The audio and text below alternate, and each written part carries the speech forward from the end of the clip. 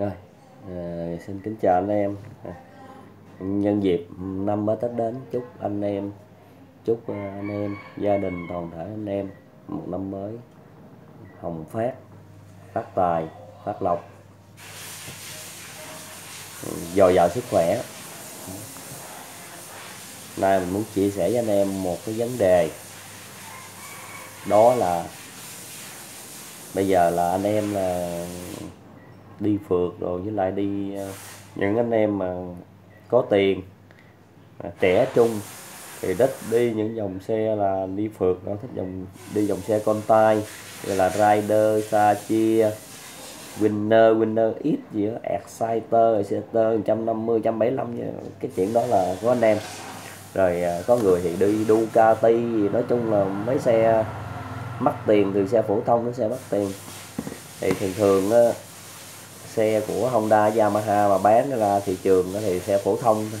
Nói chung nó cũng vài chục triệu thôi. Nó mắc hơn mấy xe thường như Winner X hay là Exciter thì nó trên 50 triệu nhưng mà nó cũng không tới trăm triệu đâu, anh em.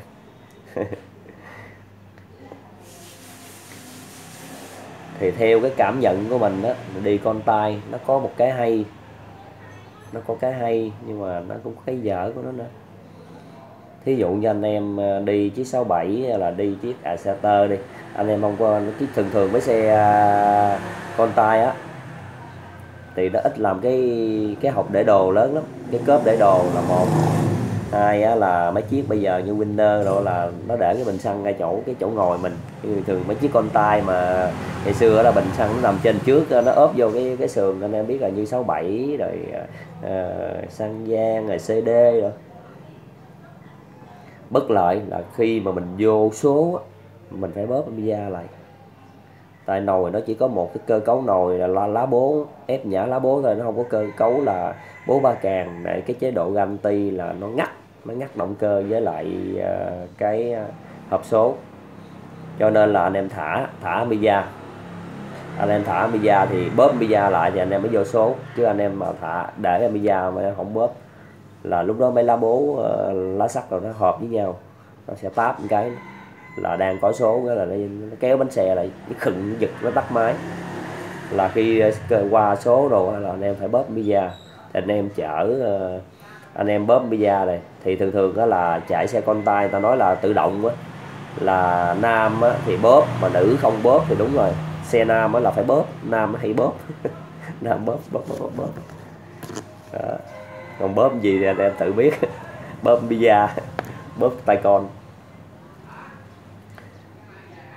khi mà anh em chở đồ thì anh em rất là phiền phức. Ví dụ như xe không có móc để đồ rồi anh em chở cái gì cồng kềnh đó.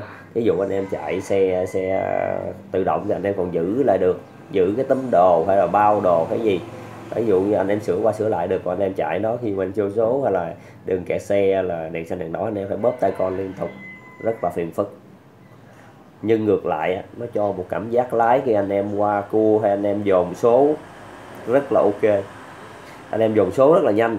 Dù bớt ra lại dù là mà thường thường chia xe con tay á, là nó sẽ bố trí là một một tới bốn lui hoặc ba lui tùy theo cấp số là năm số là bốn số.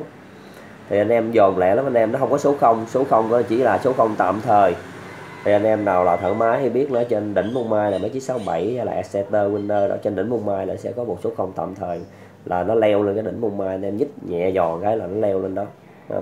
Thì anh em nạp qua đang số 1 anh em nạp qua là đang ở số ờ, số 5 đi. Ví dụ winner là số 5 này anh em nạp lại, anh em trả số gì chứ con cọc về số 1 hay số 2 rất là lẹ. Là cho cảm giác lái với lại mình điều khiển cái tốc độ hay là cái độ mạnh của xe với lại số xe theo ý muốn của mình mình nhả rồi, mình nhồi rồi, rất là ngon. Dồn số cũng lẹ. Đó là qua cua rồi mà Amiga rồi mình ghi, mình thắng số rồi, rất là ngon. Cái đó là cái hay của Amiga tay thường thường thì mình nói thêm luôn, những xe đua thì thường thường là trang bị Amiga tay con tay hết chứ không ai trang bị con tự động. Rồi. Vấn đề của mình không nói so sánh con tay với con tự động mà mình muốn nói với anh em một đề tài là mình, trước khi mình đặt câu hỏi với anh em thì mình sẽ giải thích luôn. Bây giờ mình hỏi anh em là con tay xe con tay có trị hết giọng nồi hay không? Có trị hết giọng nồi hay không? Anh em nào đã từng đi nè, đi làm những thợ ở là, mình không nói tên, chứ anh em biết là những thợ ở Lâm Đồng thì thợ này thợ nọ thợ thành phố Hồ Chí Minh rồi mấy tỉnh lân cận rồi tất cả các shop là nó chuyên trị giọng nồi exciter hoặc winner.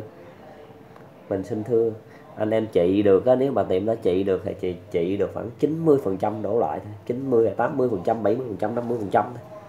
Chứ không thể nào trị hết được cái bệnh mà giọng nồi của con tai. Giờ trị 90 phần trăm anh em chạy thế nào cũng bị lại. Thời gian bị là không biết bao lâu. Và tại sao? Tại sao lại như vậy? Tại sao là mình lên con tay nó lại bị như vậy? Ủa, mình là xe con tay là mình lên con tay không nói, mà xe con tay zin luôn cũng phải giọng nồi như winner. Mình thấy cũng cành cành cành cành cành cành ở gan ti giọng ở gan ti thôi. Khi mà lên ga ờ, chạy cả tốc độ hai chục là nó hết. Mà có chiếc giọng giọng mạnh, chiếc giọng nhẹ như su rồi nó ít giọng thôi thì khi mà anh em ờ, mở ra đó, cái nồi sau giữa cái nhông với cái chuồng heo là cái cái vỏ nồi mà chứa bố, lá bố rồi, nó lắc với nhau vậy nè. Là nó có cao su giảm chấn ở trong trọng giống cao su cao su đùm ờ, cùi dĩa của mình vậy đó, anh em, trong cái đùm trong cái đùm ờ, để trong sinh dĩa đó. Của Exeter nó rất rất là nhiều, của quay nai nè, rồi su acelo x đồ nè với lại winner rồi ở phía sau á nó còn có mấy cái lò xo. Để, giảm, dạ, để giảm chấn anh em. Tại sao nó phải làm những lò xo giảm chấn? Tại sao nó phải làm vỏ nồi? Tại sao nó làm cao su nồi? Bây giờ thí dụ mình hàng chết cái nhông với lại cái chuồng heo luôn cái chuồng heo đó luôn thì nó nó truyền lực mới tốt hơn. Sao tại sao mà nó phải có cái cao su đó? Cao su đó là để giảm chấn. Không có giảm chấn cho sự da đập bất ngờ ví dụ mình không có cao su đầm thì mình gắn thẳng cái cái cùi dĩa vô cái cái đầm. Anh em hiểu rồi. Phải cảm, giảm chấn. Nó làm nhẹ. Nó bắt, khi mà nó bắt nó bắt nó bắt nhẹ. Nó mới, nó hơi có độ nhúng một cái. Thì nó mới bắt bánh xe chạy. Như vậy sẽ tạo ra độ im ái truyền động anh em. Rồi anh em ờ, làm có nhiều người thì ờ, tán river là exciter nó bị giọng nồi nhiều hơn winner đó cái đầu tán river ra bắt đầu hạ mấy cái cọc nhôm xuống. Anh em nhớ là cái cọc nhôm với lại cái river á là cái cái cái, cái chuồng heo với lại cái ờ, cái nhông của mình nó có một cái độ lắc nhẹ này lắc lắc lắc luôn luôn là cái độ đó là phải độ sống cho phép. Chiếc xe nào mới cũng vậy anh em lắc nó phải có độ sống đó của cao su với lại river đó. Rồi bắt đầu vớt mấy cái độc nhôm đó cho hai cái đó nó sát với nhau. Rồi nó hết lắc nhưng mà chạy. Chạy không ngon đâu này rồi có nhiều anh em làm cao su, đặt nghề cao su của nó lỏng như này cũng không hết. Thì bản thân tại sao người ta lại làm như vậy? Bây giờ bây giờ mình quay ngược trở lại là con tự động. Thì nó có cái bố ba càng này nè. Đây, thí dụ như cái bố ba càng nằm trong chuông nè. Thì khi mà ganti á, thì bố ba càng nó quay. Thì cái bố ba càng này nó làm những cái giảm chấn, những cái cọc của cái ba càng bung ra đó. Cho nên nó quay, nó chưa có táp vô cái chuông được. Lúc đó mình nổ ganti cái bố ba càng này nó rộng hay không thôi hoàn toàn không phụ thuộc vào cái chuồng heo sao. Đó, là xe kia nó rộng là rộng cái bố ba càng thôi. Nhưng nhưng đối với xe con tay nó sẽ khóa chết cái cốt dên với lại cái nhông hú trước không qua bố ba càng gì hết. Có nghĩa là khi mà mình, khi nổ ganti á, là cái cái cốt dên nó quay nó đã kéo cái chuồng heo sau nó kéo nguyên chuồng heo với bộ số. Bộ số quay, cái cốt số quay thì khi mình mình vô số á, mình thả amiga nếu mà không có những cái cao su đó cao su đó rộng á, thì hai này á, nó chết với nhau. Nó chết với nhau nó sẽ ra nó sẽ là hại cho cây dên nếu mà thằng này chết ở phía sau anh em tán chết ở phía sau không có cho chuồng heo cái nhông nó nó có độ độ sống độ nhúng độ đàn hồi thì cây dên của anh, anh em là mau đi. Nó bảo vệ cây dên xe con tay nó làm ở, ở phía sau những cái lò xo giảm chấn hay là về cái cái đế nồi ẹt nó lắc là để bảo vệ. Anh em có tán chặt hay là anh em làm như thế nào phải có cao su nó phải có độ nhúng. Nhiều khi hả anh em mà à, hạ cọc xuống rồi anh em à, chơi cao su đặt rồi vô nó sẽ ra nó sẽ bớt giọng nhưng mà ra bệnh khác bệnh hú với bệnh ré. Bệnh giọng nhông chứ không còn là giọng của cái chuồng heo nữa bắt buộc xe con tay là nó phải có làm cái giảm chấn ở phía sau. Cho nên nó phải có độ rộng. Nếu mà nó không giảm chấn thì cây dên của anh em bị tiêu, mau bị tiêu.